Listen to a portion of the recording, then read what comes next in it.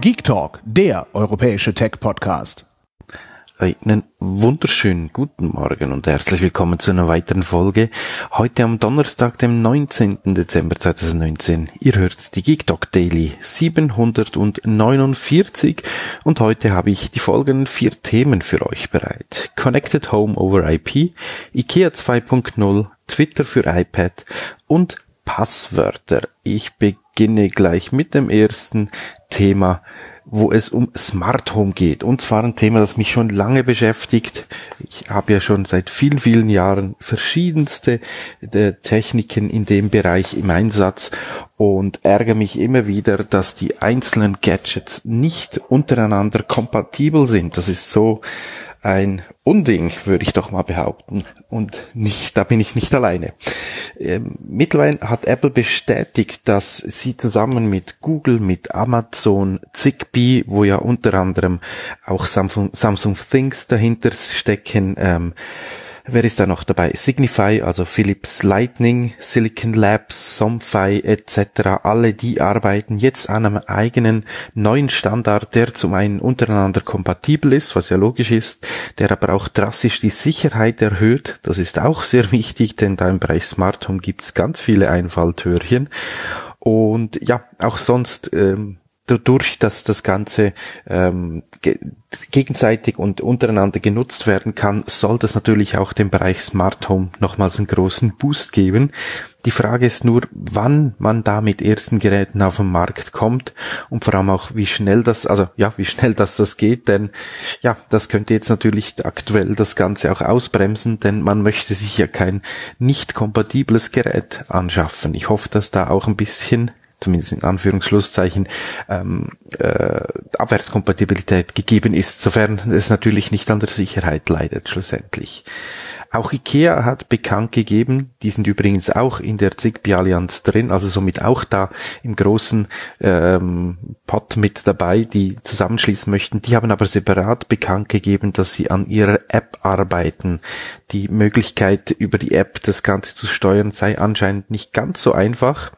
Kann ich teilweise bestätigen, teilweise überhaupt nicht. Ich habe bis jetzt nie groß Probleme gehabt mit der App. Sie könnte ein bisschen schicker ausschauen im, oder funktionieren, aber das sind natürlich immer Details. Auf jeden Fall wird es im nächsten Jahr ein größeres Update geben. In diesem Jahr gab es ja schon das Rebranding der App und jetzt kommt eben noch die Funktions- oder der Funktionsumfang und die Art der Bedienung, die da geändert wird. Wir dürfen gespannt sein und werden euch sicherlich auf dem lebesmart.ch Blog darüber berichten.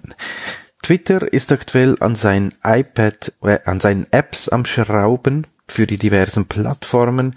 Ähm, das neueste Update gab es jetzt für dies, das iPad, Apples äh, Tablet und da hat man endlich den weißen Raum ausgefüllt, der jetzt ja ganz viele Monate rechts oder vor allem auf der rechten Seite äh, bei Twitter zu sehen war. Jetzt schaut Twitter iPad App aus wie die Webversion, also auf der rechten Seite dieses Zeugs, das zumindest ich nie beachte, selten bis überhaupt nie, bis auf die Such, äh, das Suchfeld oben rechts.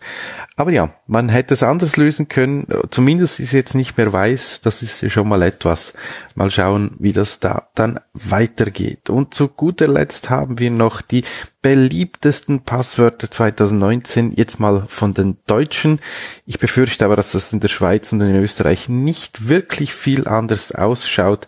Was denkt ihr? Was steht an erster Stelle? Hier kurz Pause drücken und uns einen Tweet abschicken, ein DM oder ein Mail oder was auch immer, einen Kommentar hinterlassen und dann, äh, ja, Endpausen, logischerweise. Und dann kommt die Auflösung. Ja, es ist eins, zwei, drei, vier, fünf, sechs. Mein Gott, was seid ihr für... Ich spreche jetzt nicht aus da draußen. Aber an zweiter Stelle geht's weiter mit der gleichen Zahl und dann noch sieben, acht, neun oder sieben, acht dahinter oder einfach nur noch eine sieben auf Platz vier. Platz fünf ist Passwort und Platz sechs ist einige Male die Zahl eins. Ich glaube sechs Mal, wenn ich das richtig hier sehe wenn ich mir so die Wörter da anschaue, die da drin stehen, dann hoffe ich doch, dass das Sprichwort gilt. Glaube keiner Statistik, die du nicht selbst gefälscht hast.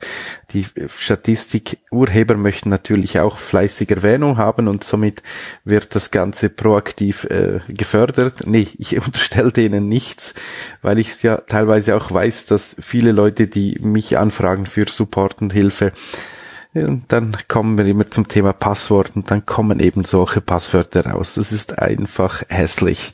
Liebe, liebe Menschen da draußen, bitte, bitte, hebt euren, äh, haltet ein bisschen Sorge zu euren Passwörtern und nehmt die, ja, ein Passwortmanager oder halt auch sonst einfach größere und längere Passwörter und vor allem nicht die gleichen Passwörter für mehrere Accounts nutzen. Das wäre noch viel fataler als das mit den 1, 2, 3, 4, 5, 6.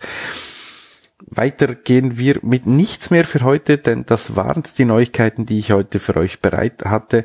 Ich hoffe, ihr konnten ein bisschen was mitnehmen, guten Tag starten und hoffe doch, dass wir uns morgen wieder hören. Bis dann, euer Pokipsi. Tschüss. Hört mehr Geek Talk.